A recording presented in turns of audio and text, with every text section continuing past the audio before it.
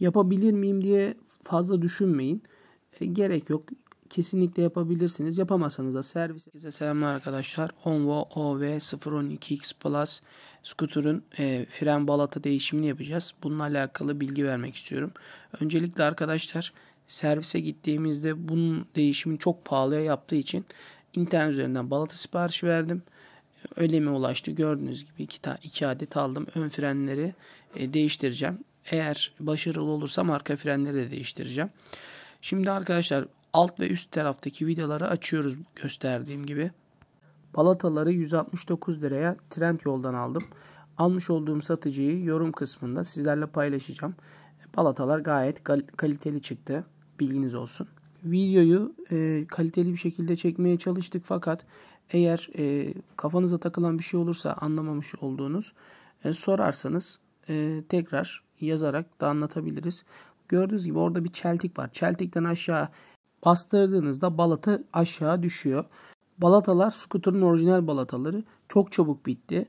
E, gördüğünüz gibi bitişini yani en dibe kadar kullanmışız. Şimdi yenisini takacağız.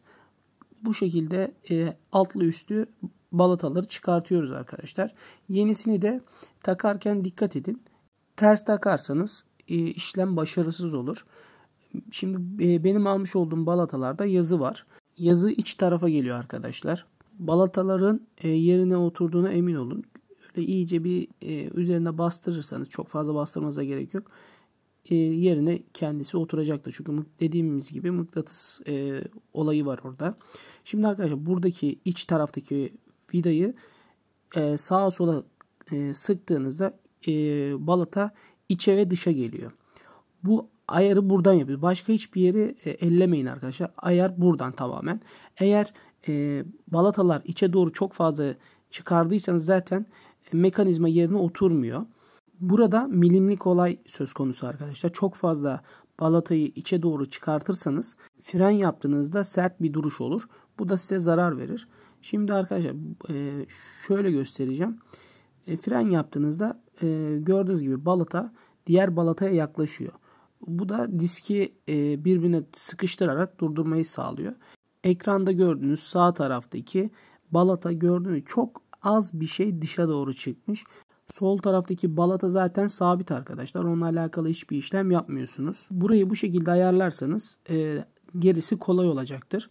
Şimdi mekanizmayı yere yerine takarak e, ince detayı da sizlerle paylaşacağız inşallah.